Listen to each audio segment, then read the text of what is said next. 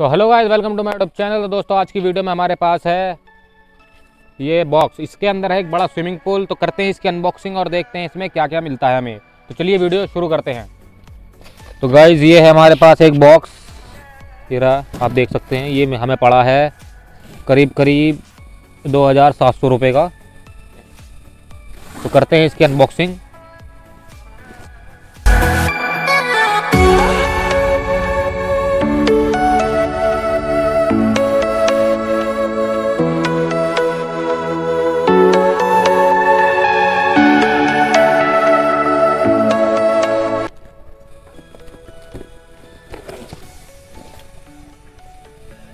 इसका इसके अंदर मिलता है हमें ये चीज़ें। एक ये चीज़ है, और ये कुछ बॉल टाइप। और एक ये मिलता है हमें ये, इसमें हवा भरने के लिए इक्विपमेंट और हमें मिलता है ये मेन चीज़ ये हमारे पास। ये स्विमिंग पूल और इसके अंदर मिलती हैं कुछ चीज़ें। इंस्ट्रक्शंस कुछ और यूज़र मैनुअल और इसमें वारंटी कार्ड मिलता है दस दिन का। तो गाइज़ इसको हम फुलाने की कोशिश करते हैं। पहले इसको हम इसकी सील को ब्रेक करते हैं।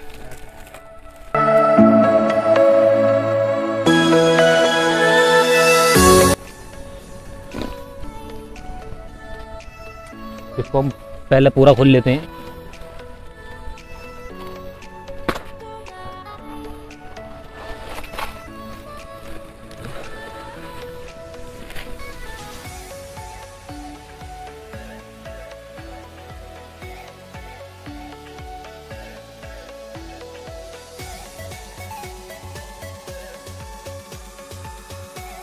जैसे हमने जनरेटर को चालू कर कर अब इसमें ये हवा भरेंगे। इसको हमने इस यहाँ से कनेक्शन कर दिया है, जिससे कि हम ये हवा भरेंगे।